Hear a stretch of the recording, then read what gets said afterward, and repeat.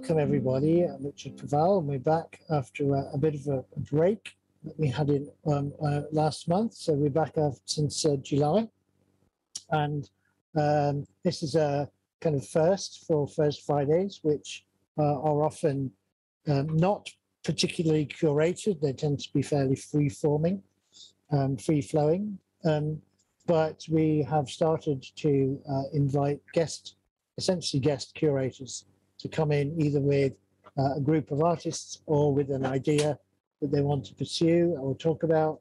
Uh, and uh, I'm really delighted to uh, uh, welcome Walter Lewis, who is one of our board members here at Art.Earth, who has put together a really interesting group of artists who are going to talk about. Over to you, Walter. Okay, thanks, Richard. I should point out that, that, that, that on, on the board of Art.Earth and a trustee for what, three months or four months now. So it, it's an enormous learning process as well as well as this idea of, of curating a First Friday. When when I first volunteered, I, would got this idea of perhaps trying to find a, a loose theme through which we could nest some presentations from some interesting practices in the art field in so doing, learn about them and appreciate them, but at the same time, create a platform for which we could open up discussion towards the end on issues that perhaps don't have clear cut answers, but which are, you know, on, under, underpinning or even undermining many of our practices. Um, and I was starting to think like that when I came across the the the the, the, the book Eco Art in Action, which was published in February, uh, for very yeah respected uh, uh, editors to a collection of essays. I love the title, excited by the title. Uh, the, the, the, blurb said it was case studies and provocations for successful eco art, and so I bought it. I was then totally bemused by the fact that eco art was defined as that thing which is in the space between art, science, and community. And it was a pretty restrictive uh, definition in that that's what you needed to fit in order to get into the book. Um, and it just struck me that in insisting on active engagement, not just say with, with science, but particularly active engagement of com- with communities, so, so much was being excluded.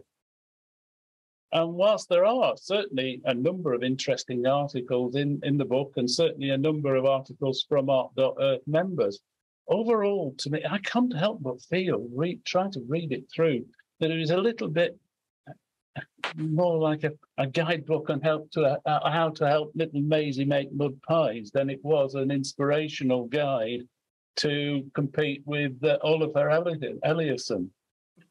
So, the idea fell out uh, that, well, why not have eco art in action as the theme that could underpin this? And particularly since, you know, I, would be the first to admit that that we, by engaging with community, we do actually make a start in probably the key issue in terms of a, an activist eh, motivated type art in that we're engaging with with with with with a with a with an audience unless we engage with audiences, then the, our work is, is, is, is not going to have any impact. And community certainly has a start. I would equally argue that um, by commu- defining as, as, as they did, they're actually avoiding facing up to this key question of how do we widen the audience and deepen the engagement with ecological art. So, yeah, back to First Friday and today. Hopefully, that has produced a little bit of controversy, but not too much, so there's a little bit of fervour about it. The plan is to look at three distinct art, eco art practices, all born out of engagement with the world around and the sharing of that engagement, and then open up the discussion of some of the issues I've raised so that hopefully we can get some insights into how we can inclusively work towards changing the world. To the astute, you'll notice I said three practices while the promotional blurb said four. cock up on my part in that I thought we were operating on an hour and a half, but I'm, I'm very happy with Richard Dower. And so good news is I've dropped myself from the speakers, so that, that makes life a lot easier. So we'll hear from each speaker in turn, take questions and comments from each, and I say then open it up. And no strict sort of format or whatever. Let's take it as it goes to keep the discussion lively and informative and insightful. All, all four of us, or should I say, all three speakers are uh, not known to each other and not known to me. So I think in terms of good old networking, this is really using art.earth to, to, to, to some purpose. So the first speaker we've got is Victoria Burton Davey.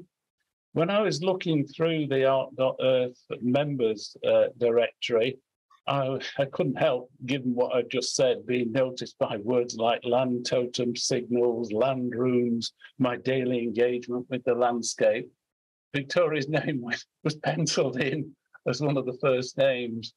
So, uh, without more ado, over to you, Victoria, uh, from the, the, the wilds of Cornwall.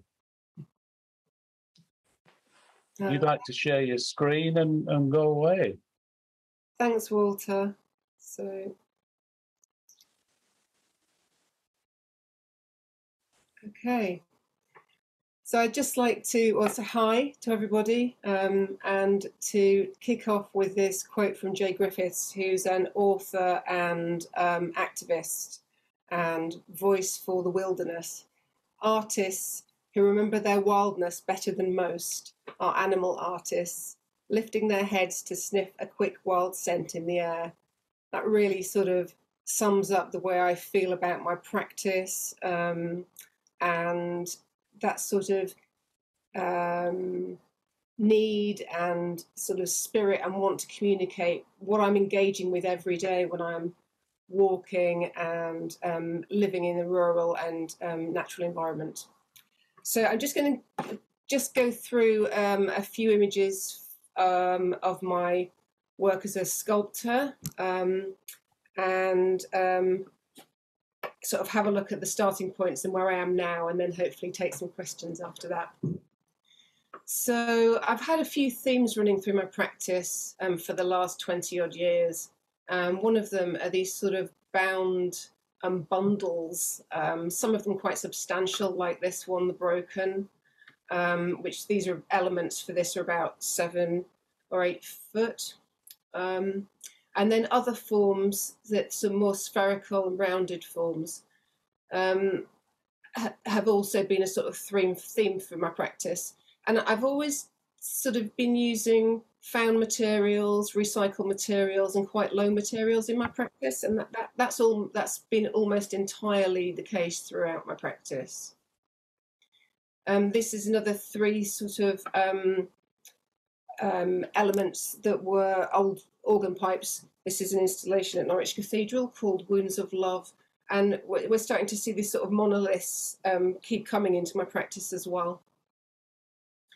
Um, I had a two-year residency at the Imperial War Museum, um, and uh, I started really delving into um, structures um, and um, the way things were put together not just the aircraft, but when I was, you know, still living in a rural environment and, and going into um, Duxford every day.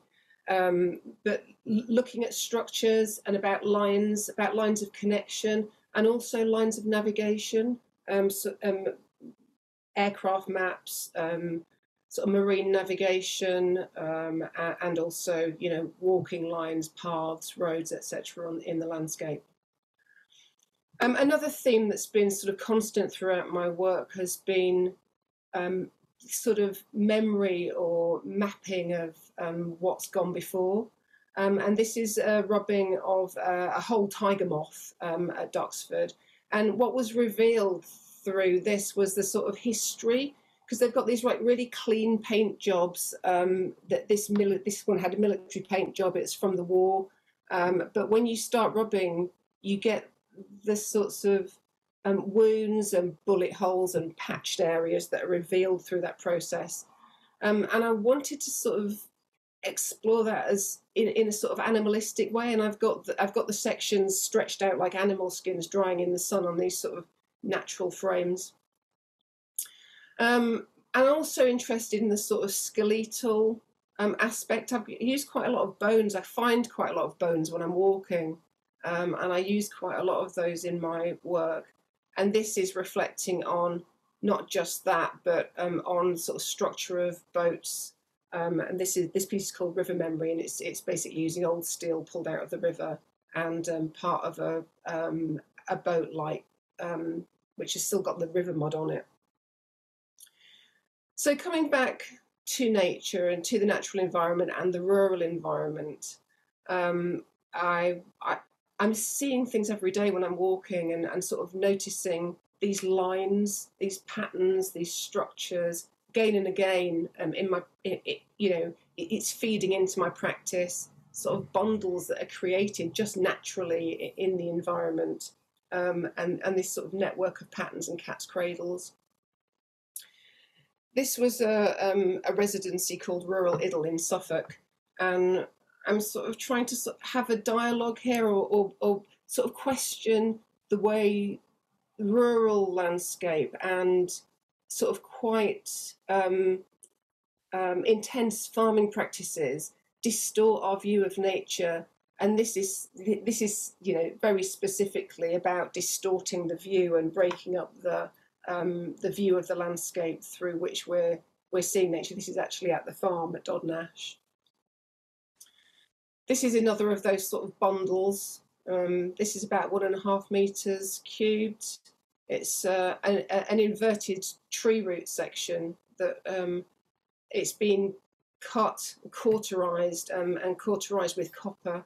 Uh, and I, I was really sort of feeling that, you know, trying to sort of have, you know, show some sort of artistic connection, artistic discussion, sort of open up some dialogue about what we're doing to the natural environment, you know, pulling trees up all the time, n- not necessarily for good reasons, um, so, you know, quite often for really rubbish reasons.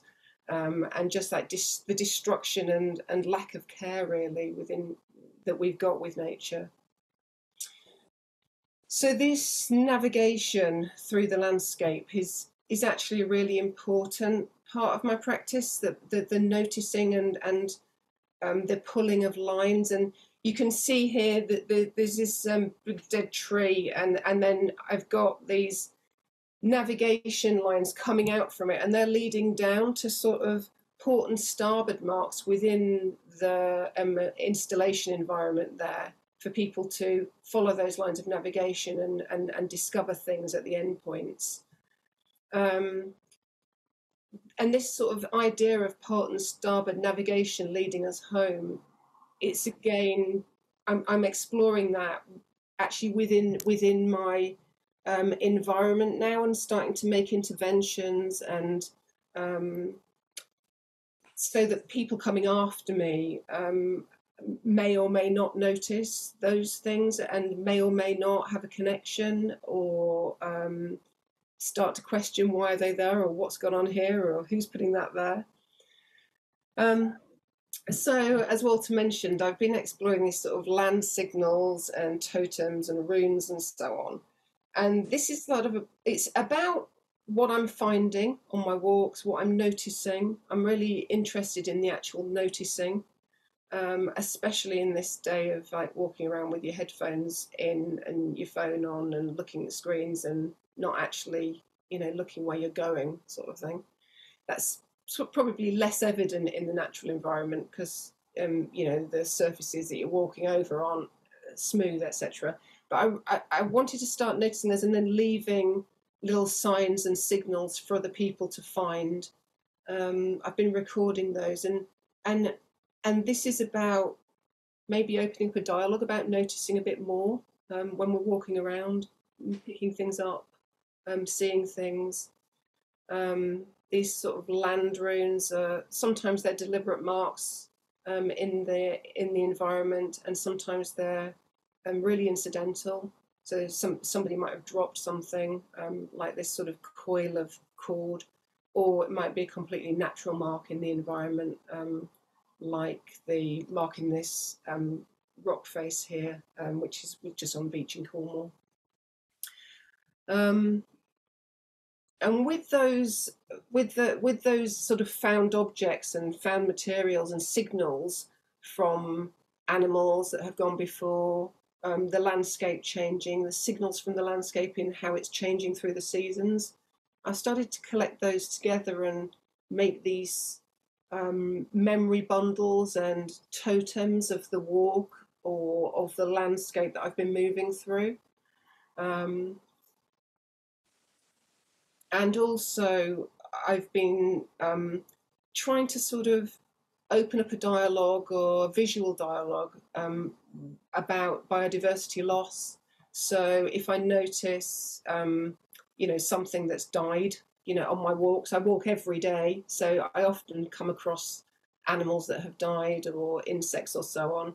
I'm starting to sort of create these shrines and then record those and leave them again for people to find and perhaps question what sort of nutter has walked before them. So that's me um, drawing on nature. Um, yeah, so I'd be I'd be in, that's that's a sort of arc of my practice, if you like. Um, and uh, now I'm hang on, me just stop showing this. So now I'm I'm starting to look at using some much larger elements like um, sort of fallen tree tree limbs and so on and start bind, binding those together and and other objects um, to to make some more substantial pieces probably more um, redolent of my my earlier you know more substantial work there. So yeah that's that's that's my practice at at the current pl- place if you like. Yeah. Lovely. Thank you ever so much. Richard have we got time for a couple of quest- quick questions We do. We have five whole minutes, actually. okay right so Victoria, she gets the prize already. Sorry can you say that again I'll just say you got the prize already for giving us five minutes for questions. Right. So, have, have, have we got any? Uh, um, is that Uh. is that is it Ri- Richard? Who's Martin? Really? Was that you putting your hand up? No, just me getting the screen back with everybody's face Oh, on. Right. Okay. I can watch somebody else ask a question. I think, Will, you had your hand up? Can I ask a question? Oh. Yeah. Yeah. Um, Well, I was just wondering, you know, with Walter talking about community, do you get any feedback from the pieces that you're leaving in the landscape? Is there any sort of two-way connections? Um, yeah, I, for, in some for some of them I do. Um, I mean, I, I post on Instagram really regularly, and I get feedback through that. But that's like less local, if you like.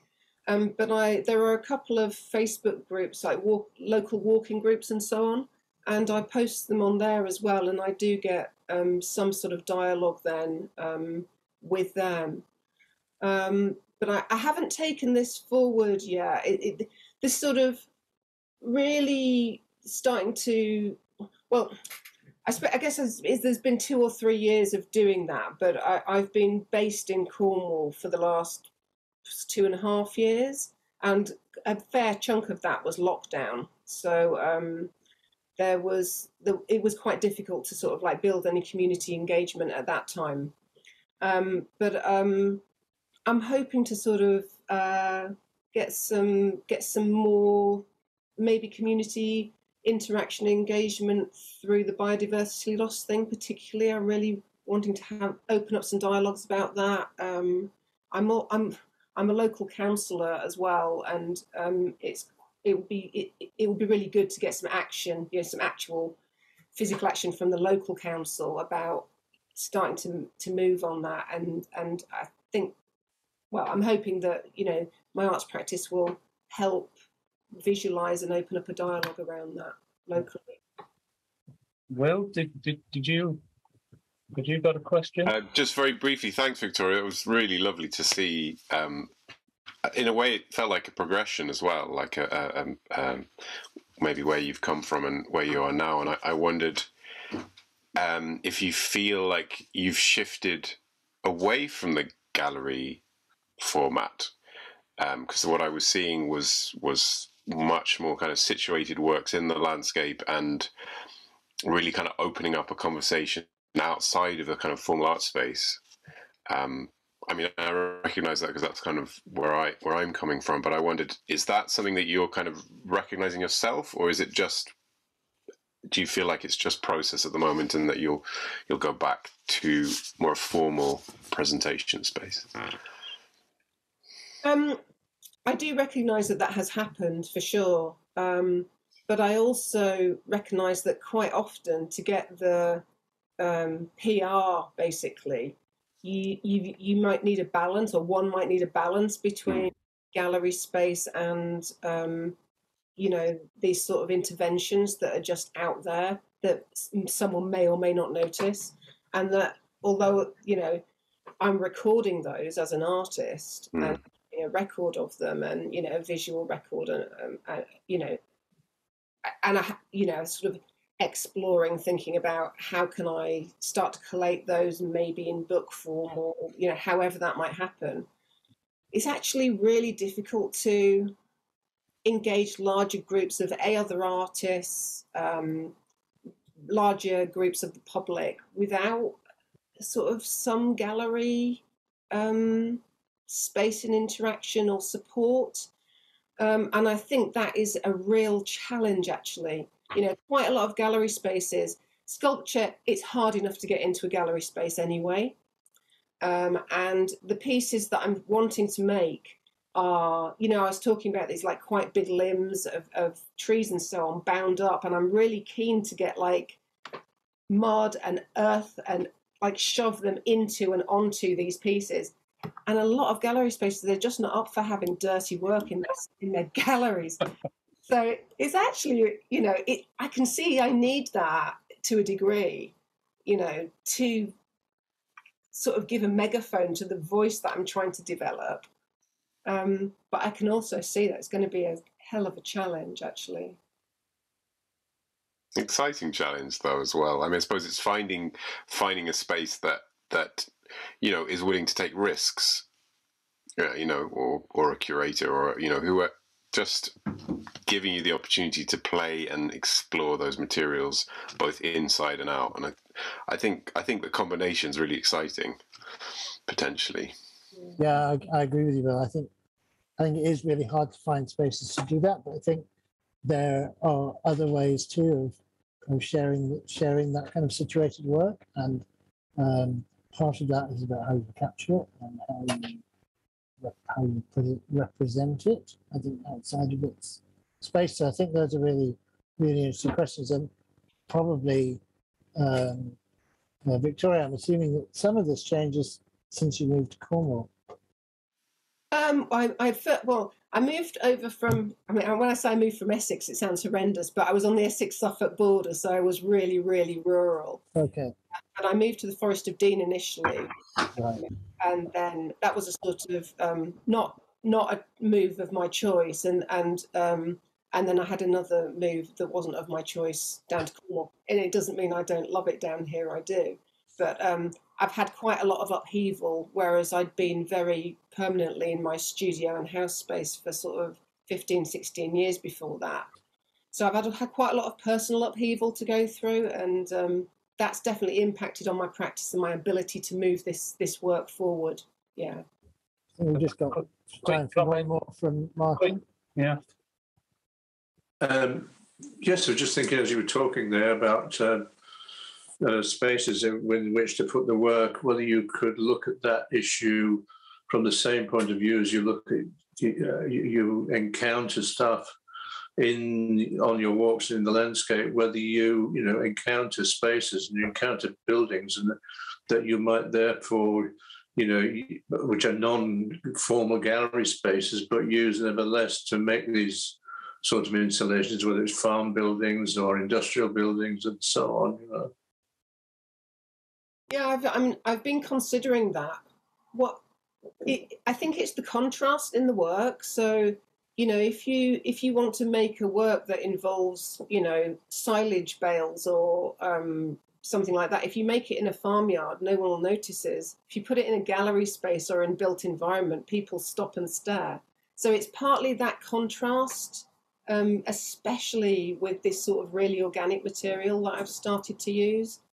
It's quite difficult to e- even photographing um, sort of the signs and signals and things within the environment when I, where I'm walking. It's quite difficult to find spots where they even stand out within that environment. Okay, thanks ever so much. Shall we move on then? Uh, and we'll we'll move to to Will. Um, Will Will, I think he's really pushing the boundaries of networking. In that, I think this is the first time we've talked, spoken, or whatever. I was introduced to Will through a, a Canadian artist I know who's uh, working and living in uh, in Ireland, and who I'd met through some critique sessions organised through uh, University of Westminster. And I invited her to come along. She couldn't make it. She's on a residency. She said, "But I'm working with this guy called William Bock. Why don't you ask him?" So, in the spirit of networking and opening things up and not being too sort of introverted, welcome, William, and uh, tell us all about your practice. Thanks, Walter, and, and great to be here. I'm I'm an eco art filler. um, yeah, I I'm I'm based uh, in West Cork currently. I'm um, I'm, I'm, an artist that's that's really working between the UK and Ireland, but I grew up here in West Cork and have kind of returned back here and, and making work back um, in in this very very rural coastal um, context and community. Um, my my practice is interdisciplinary. I, I work with film, sound, uh, photography, um, and I and I going back have come from a theatre uh, design background and making work in public for public space, and often very participatory. So it's um, it's very collaborative my work um, and um, involves both artists and non-artists. Um, and has a very uh, strong environmental focus.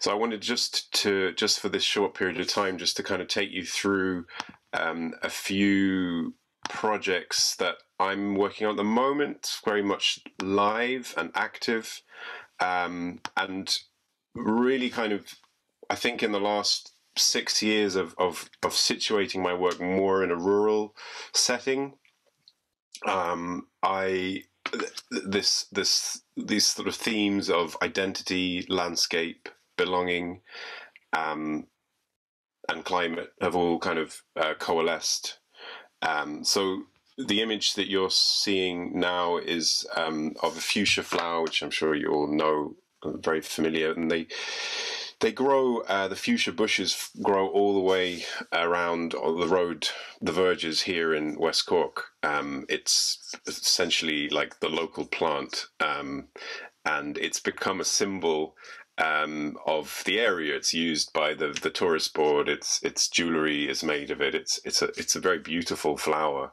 um, but it's also very of this landscape, um, which is uh, interesting to me because the flower is originally from Peru and um, from Chile and is uh, essentially a, a, kind of remnant of uh, of colonial uh, movements of plants around the world, and and uh, would have been planted here um, in the 19th century in stately gardens um, by people who were, you know, looking for exotic plants to kind of fill their spaces. But it turns out that it grows very well here because where it grows on the mountainsides of Peru, it's moist and cool, um, warm, and uh, and so it thrives here.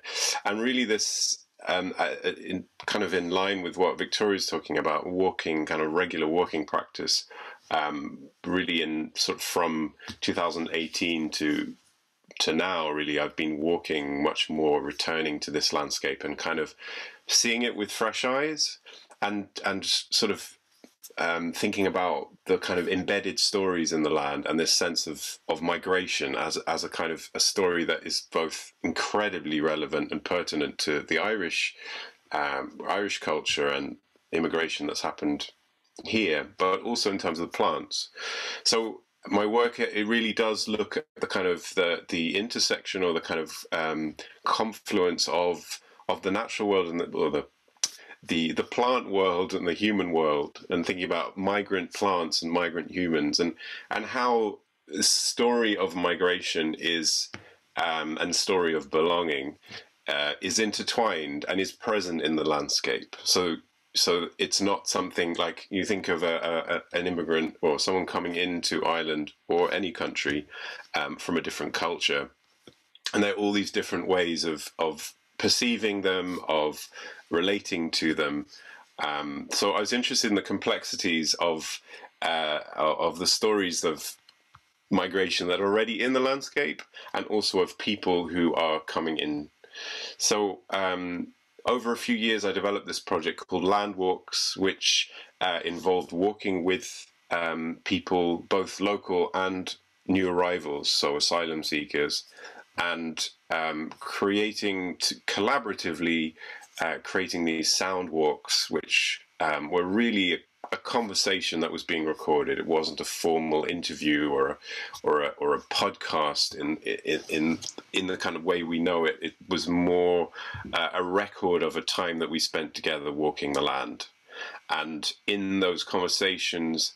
Um, uh, came I suppose the the contrast and the similarities between, for example, these African women, all from different African countries, who found themselves uh, in a in a kind of, um, I suppose, a ho- hostel really.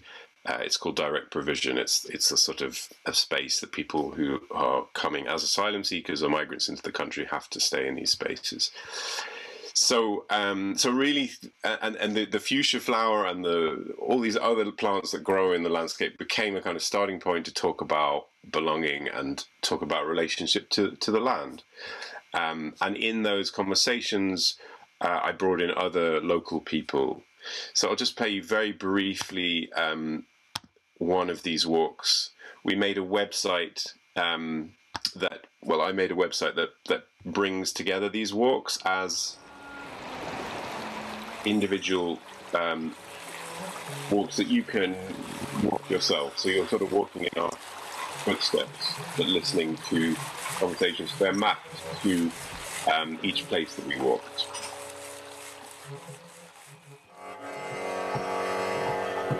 My name is Mariam Abba. I'm from Sierra Leone. My favorite plant is cassava.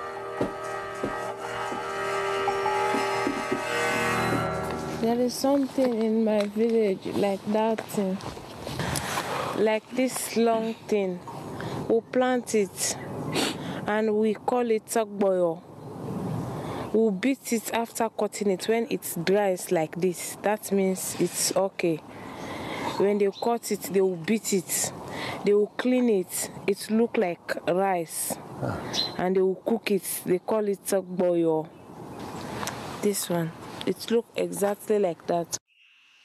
So sorry, uh, to keep it short, I'm. Uh, that's just a little intro, but there is a website that you can go to and and listen to all of them either at home or you could come to West Cork and listen to them um, while walking those same routes. But this process of of of walking together, recording conversations, and collaborating became um, particularly kind of in light that this project ended in, in lockdown and a time where people were kind of trapped in their locality.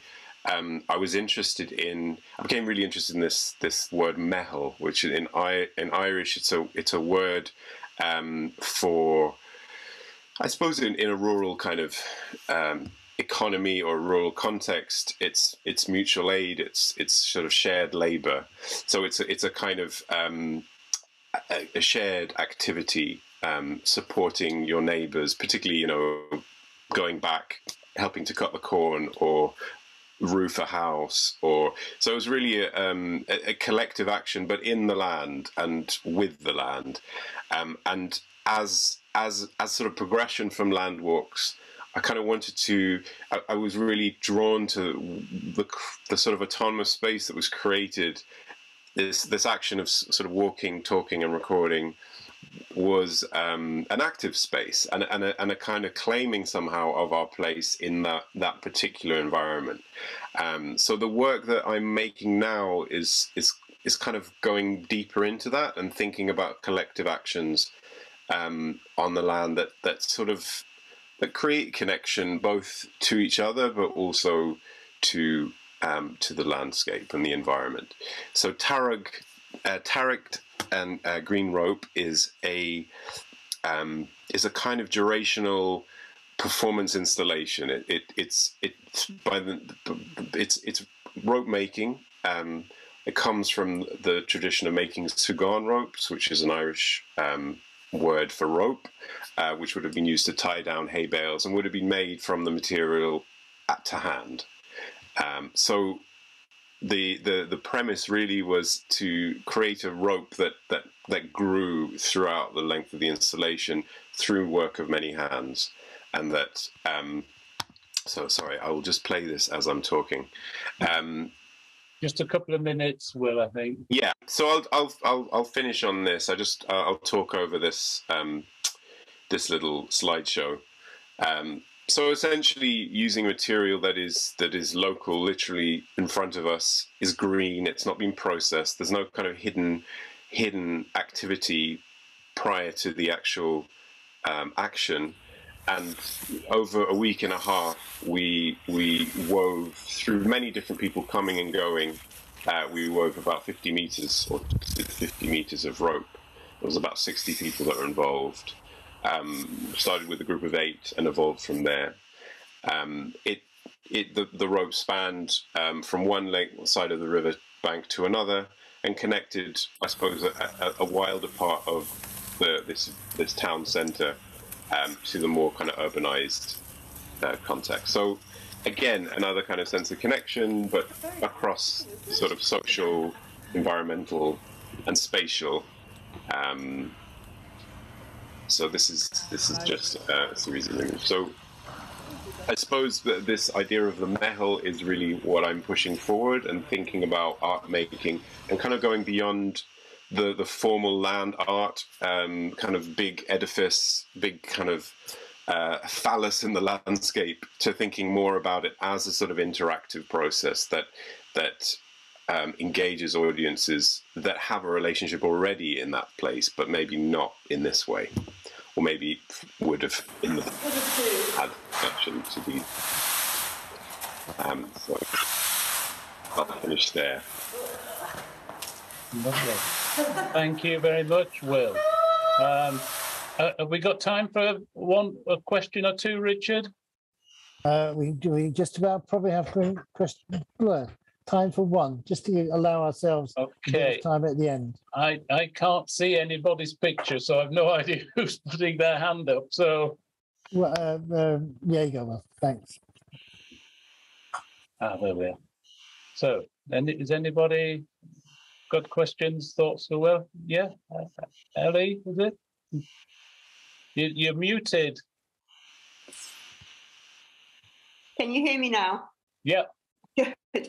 Um, uh, great to see that work, um, William Bock. Really loved your rope thing. That's amazing. Um, just a sort of question, but um, um, you know, the fact that you have other people interacting and working with you when you're having that relationship with nature, because I'm out there too, but part of my relationship is that it's on, on my own and so i'm feeling my way around things. So what you're doing is something quite new that i've never actually really come across in that way that you are actively inviting people making it social and all of you are homing in on interacting feeling and putting things together in the landscape. So it was just to make that point really and to see what you you thought about that those differences between a personal relationship and a communal relationship.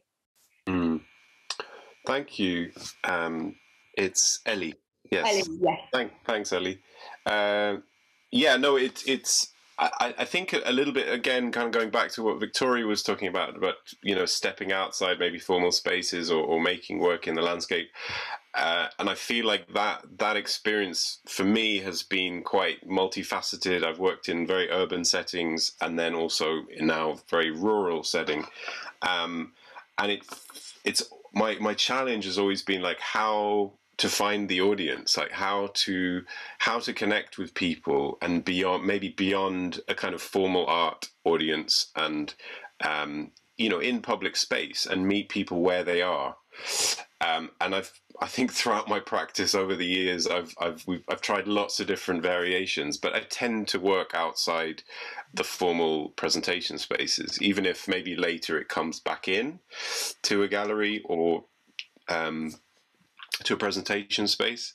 But I think I'm always drawn to this this sense of like you know if I'm meeting people where they where they are, so on the street or in a field, um, you know what are what are the ways that they might be interested in in in kind of coming to me or um, interacting with me? And and what is that sharing? Like what is what is in it for them and what's in it for me? Because i think that's always the thing when you're working participatory with in participatory in a kind of collaborative participatory way you know there's there's it's there's an ethical conundrum there as well. Like you know how much are they involved in the artwork? How you know who's the author?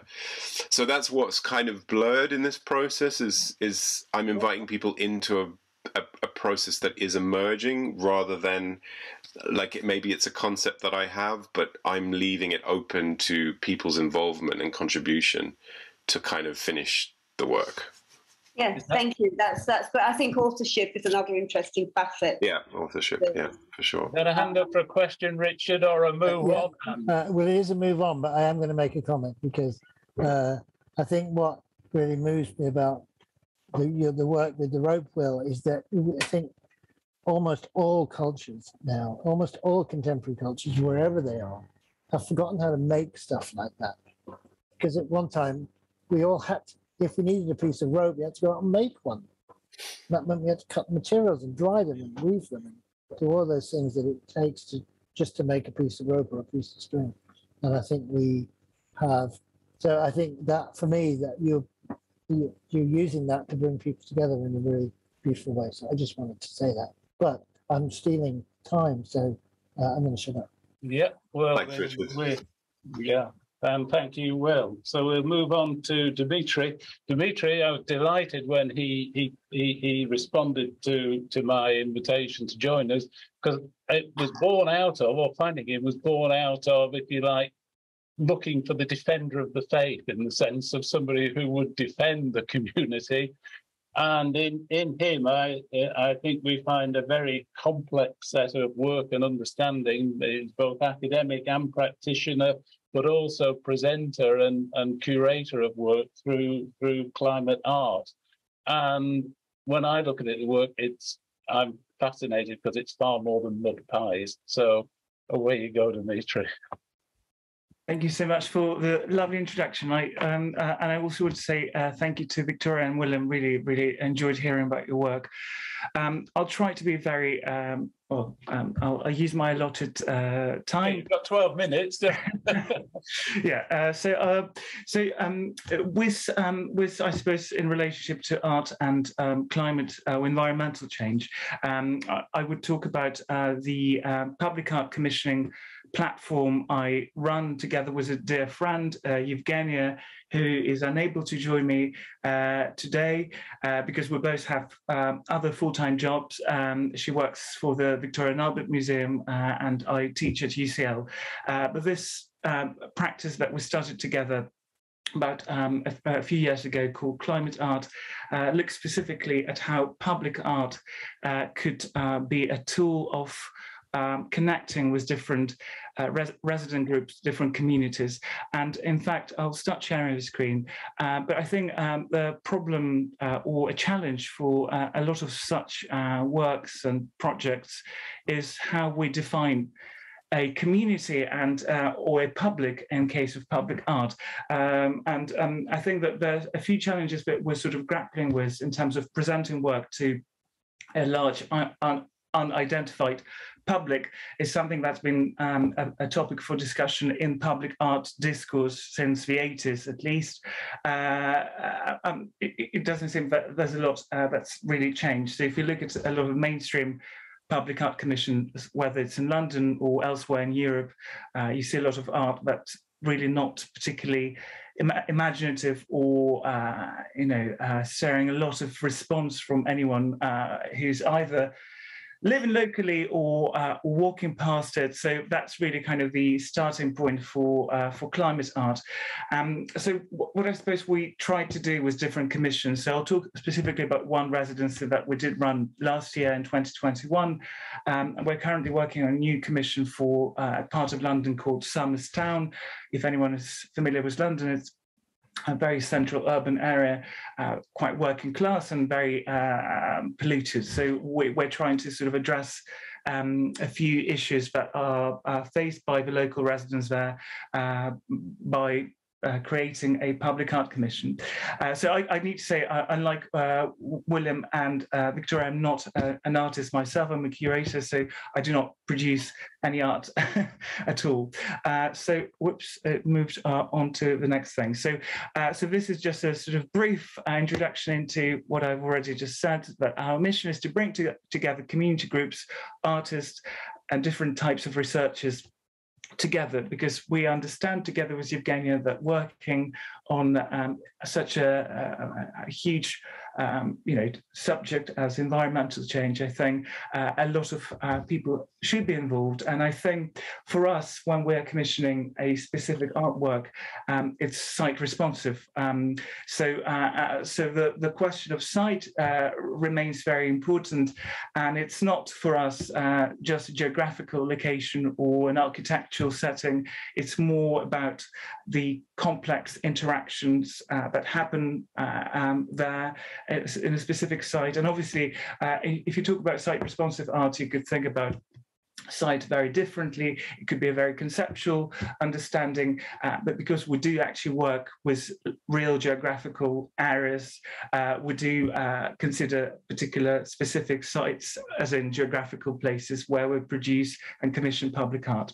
Uh, so the residency that we did run in 2021 was called A Vanished Sea Without a Trace, and it looked at, uh, I'll uh, go back to the previous slide, and it looked at, at a specific part of the UK, is Sussex Sussex and a, uh, and a place called Rye. Um, and one of the inspiration behind the residency was this map I found in, in 1953 uh, Geographical Journal with uh, changing coastlines. You can see just about there's a sort of um, outline of changing co- uh, coastlines there. And that a specific Tudor castle that's uh, currently run by uh, jointly by uh, the, um, um, the English Heritage um, uh, Charity and uh, the local ch- charity, the Wildlife Trust charity there.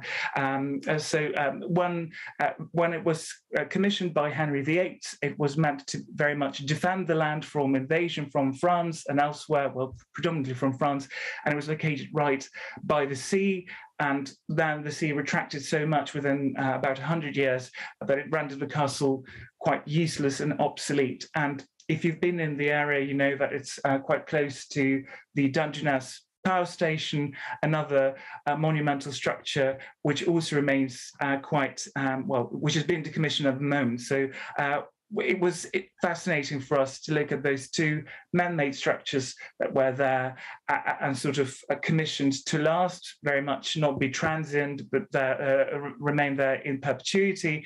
But you know, uh, certain uh, things beyond human control um, changed their fate and affected the fate, in fact, of the entire community. So that was a, a very broad theme that we asked uh, different um, applicants, uh, uh, and we didn't want uh, to limit it to visual artists or architects.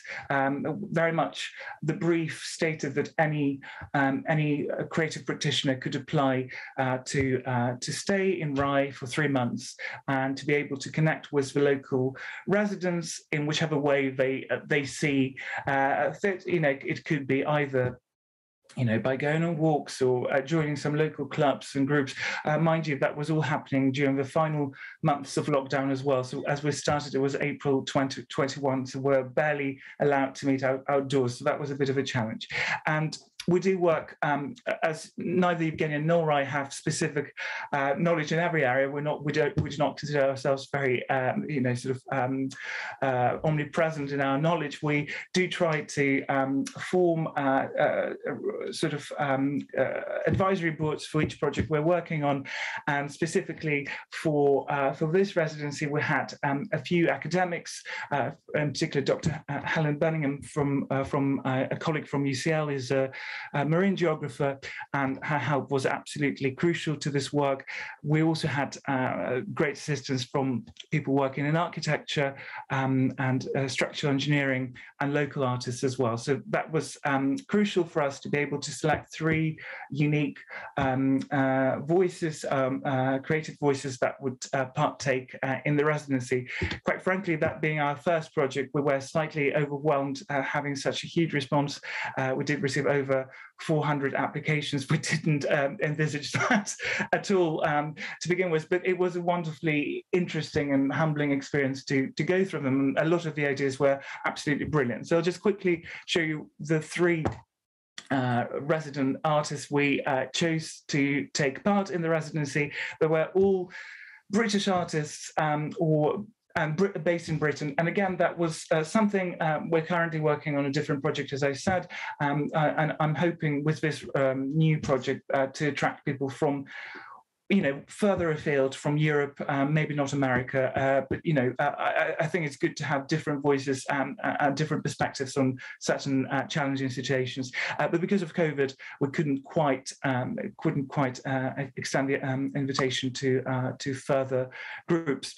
so th those three artists reinterpreted, or the, those three practitioners reinterpreted the brief quite differently. So the first work of that was probably one of the most noticeable. Uh, I, I, mean, it made uh, quite a, um, hopefully not a very phallic, but quite a bit of a mark on the landscape.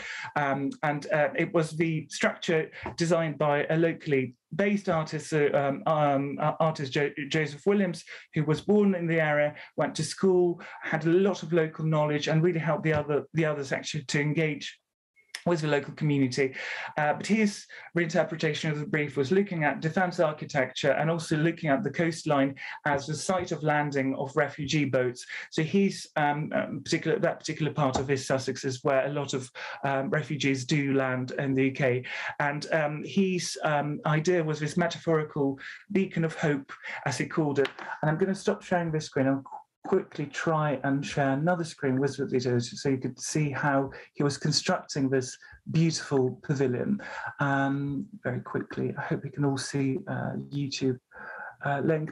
Uh, this is sort of a meditative film just showing uh, the work in situ. It's a nature reserve, so we're very, very privileged to work uh, on this specific site. Also, there's a lot of history. It was the Second World War. There's some uh, artifacts and also where fishing boats still go out. And Joseph was inspired by this local uh, flower as well, the yellow horn poppy that grows there, and that's inspired the colour of the uh, of the tent of the pavilion. Uh, but bamboo as a material um, is something the artist works with a lot, and um, he we were specifically looking at using European grown bamboo because as you know, it's um, the, the, the, crop itself could be potentially carbon neutral, uh, the way it uh, sequesters carbon, but also the way it's grown and replenishes the, the soil.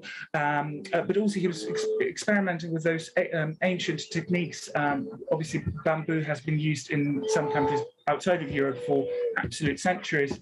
Um, so he created this really beautiful, subtle intervention there, which apart from looking quite beautifully, and it was used by local residents as a site for yoga practices or informal meetings. The Sussex Wildlife Trust charity used it for their education, outdoor events. Um, but it was a very cleverly designed architecture building because, uh, as you can see, its location right on the coast, it had to be engineered very soundly. So we're very grateful for the support from AKT2, a very large engineering firm that were really kind of interested by this idea and hopefully they they sort of the collaboration with the artists also informed their thinking about larger scale projects um, as well. So this um, uh, structure, the tent, has been brought to London. I'll just skip through the video, show you uh, what it looked like at the end. Um, um and it was featured in the uh, uh, London Design Week after that. Uh, but um, uh, the idea behind this brief, obviously, was also engaging with local residents and how they experience the landscape. And um, this is obviously the site where a lot of people do walk and practice uh, certain things like yoga, for instance. So that was really a response that the artist uh, sort of, uh, I suppose, captured by his by his creation uh, there. So that's one of the works, and I'll stop here because I think uh, that's probably enough of it. Um, you have, a, have another minute if, if, if if you can sensibly fill it. yeah, absolutely. I'll just share the presentation one more time. I'll just show you the other two works uh, very briefly. Uh, so they were quite different in the way they responded. So the second participant was um, Alistair Debling, who is a, multidisciplinary artist, a visual artist, a filmmaker, and he produced this beautiful uh, film, which is uh, actually being featured at the moment uh, in uh, Copenhagen as part of the architecture festival there. So he looked, um, and you can, uh, I can share this slice very, very happily with you. There's a clip of Alistair's work. He interviewed um, a lot of the uh, local residents um, and, and also um, actually refugees who ended up living in this part of uh, the UK and talking to them about this idea of protecting the land and what does it mean to sort of to uh, look at uh, this idea of uh, coastline as a sort of the impenetrable border between the UK and the rest of the world. Uh, and, uh, you know, he was looking very much at the two structures, uh, the power station and the the castle. So this is just one of the clips, uh, but it's a very beautiful, um, uh, evocative, quite haunting uh, video that he produced there. So that's one. Uh, let me just try to stop share and share the other one. Whereas finally, the third participant of the residency, uh, Mo uh, Langmuir, who's a London-based uh, practitioner and uh, uh, uh, biologist. She worked very much with the local residents by practicing different types of citizen science. So mapping, she was using this wonderful rat balloon, which reminded me of a 1960s French film about a boy in balloon. And um, she was sort of capturing a lot of the local landscape. sort of, um, this is one of the techniques, as I understand, uh, that is used by uh, citizen scientists in, in mapping. So she was sharing her knowledge with uh, younger residents of Rye uh, and some other resident groups there.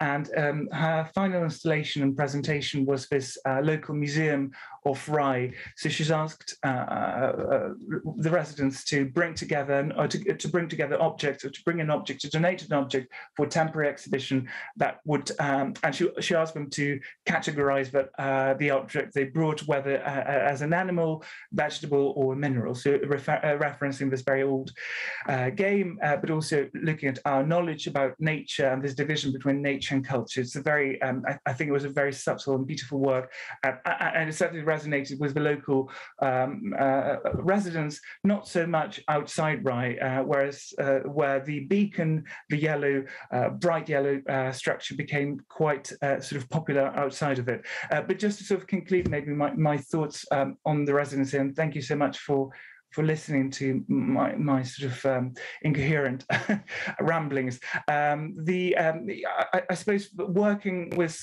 um, uh, working with a community um, uh, proved um, an interesting experience, and obviously I think uh, also further challenged my assumptions as a curator of what, how we define a community and how do we who do we whom do we actually um, address when we produce work? Because obviously a lot of people were interested in uh, what we were doing there. Some people quite frankly didn't care. And we really didn't want to uh, obviously um, uh, sort of force anything onto um, onto anybody. But I, I suppose with works which are presented in a public realm I think for us the important thing was that there was a, a, degree of discussion with the resident groups as to how they see the work there. We weren't uh, necessarily prepared to maybe uh, be dictated uh, as to what uh, art should look like, but you know, it was still very interesting to see what the responses were. And uh, they were largely positive, but it, it, it, it's not really the point. I think it would be quite interesting as well to produce a work that is not necessarily uh, as pleasing to the eye, but maybe uh, provoke some important uh, questions about the climate um, uh, collapse we're all experiencing at the moment. So yeah, thank you very much for for you for listening, and um, I'll I'll stop sharing my screen now. Thank thank you, Dzimitry. I mean that certainly introduces well, you, you say you're not an artist. I, I, I think you're just just just a, a, different form of artist. I mean, you, that, yeah, I, I get anything but the impression that that you've sort of set a stage and then just let people do it. You you were part of that creative process. But perhaps uh, the time is is running short and not not wanting to to sort of keep everybody hanging on perhaps if I if I if I try and sum up, but sum up in, in the sense of a question of we got it uh, right, the message that seems to come to me very strongly from today's presentations and discussions is that yes, eco art is very much more than just community. It is about what, uh, all, all sorts of ways of fostering ecological empathy through a sensory experience. And the problem that we all face and that we need lots more discussion and lots more opening up by the likes of this, if you like, second reaction of, of Dzimitry, is is how to create an audience, because that that's where we're all falling down at the minute. I mean, uh, in, unless we get engagement, then the art falls flat. Is that is that a sent a sensible endpoint to to say perhaps you know as we move on we move it on to a, a discussion more specifically around how to create audiences, and particularly audiences outside the conventional art space. Yeah, and I think uh, a lot of the work we've seen today, uh, which is really engaging people in lots in very different ways, but nevertheless trying very hard to engage, is about making audience too. It's about mm. you know, the, the if if a for example, if a community public artwork really works, then it has its audience and the audience engage with it and they, they actually love the work then. And clearly, you know, the, the work you showed us, Dzimitry, uh, did people really use the pavilion? Did they did they engage with it and use it and play with it and find find their own ways to use it? Yes, absolutely. So um, because the work is, um, you know, was so inviting, it was just right there. So yeah, as I said, there were some local groups practicing yoga, which was really uh, pleasing, uh, nice to see, and also there were uh, school groups uh, uh, and um, uh, the charity Sussex Wildlife Trust, who allowed us to construct it there because it's obviously it's a nature reserve, used it in their education program. So yeah, it, it, was quite widely used, um, which was quite good to see. And I think it was right after lockdown, so people cherished this opportunity to, to be somewhere together. So I think that was quite a, quite a nice thing to facilitate. Yeah, Victoria ask a question about the selection of the candidates that you had there because they all seemed very young. You know, as an older practitioner, it's actually hard to. Um, Yes, I, that's a very good question. And um, also, we could go uh, down. Yeah, in terms of diversity, it wasn't very diverse at all. In fact, uh, we didn't have any participants of color either. Um, so that was again something we did not. Uh, we didn't receive a huge amount of applications from um, um more established uh, artists for some for some reason. I think maybe it was to, to do with the fact that it's a brand new uh, so back back back then in 2020, climate art just started. So I think maybe the we weren't really as uh, well, we weren't really known to to um, to people. Although we did advertise our open call on all the regular channels, um, and also so that's something actually we're trying to address with the current commission. We're trying to um, you know, to trying to attract people from different walks of life as well, and sort of from different communities, from different segments of society, because I think it's really important that not um, uh, one specific demographic is involved in that uh, conversation. Yeah. Remember the opportunities page for Art.Earth. Oh, yes. Yeah, I mean, the fact that you had, what, 4,000 applications means I think you were probably doing a fairly good job. Um, yeah, I think uh, we've seen so much amazing work today, and there's so much that co- could be talked about, and we, you know, each each artist could easily have filled the hour. Um, so I really want to uh, say a huge thank you. I should not not not use up Walter's role in signing off, but I, I personally just want to say a huge thank you to the artists who've shared their work today. Fa- fabulous work, and we will uh, also make sure that word gets out about the recording of today's session, um, because I think it's some amazing work in there, and we'll also make sure that your websites and other information is shared alongside that. So, thank you very much for your interest. Yeah, thank you, Richard, and yeah, a personal thank you to uh, all three of the speakers for uh, putting up with uh, me and various diversions and whatever during the the, the run up. Thank you so much. It's a pleasure. So, are we are we all done? yes, we're all done. So I'll just say. Uh, You, you're not shutting it off, Richard. I'm, I'm wondering what I'm supposed to say. I'm not shutting off, but I think we will say goodbye. And thank you very much, everyone, for, for joining us. And we'll see you next month, where we have the um, another uh, group who's coming into uh, uh, as, as guests, uh, which is sustainable, the Sustainable Dark Room, uh, who are doing also doing some amazing work, uh, mostly in London and Bristol, but uh, elsewhere as well. We're working with alternative. Uh, photographic do you want to shout out, Will? Sorry, yeah, no, I just wanted to um, ask actually, Richard and, and Walter, is there, um, I know there's the website, but do you have um, a listing of all the people who are involved in past and future talks? So is that is that a resource that we can access or? Uh, uh, uh, it's, it's a very good question. We, we there, there is simply a page that lists them all.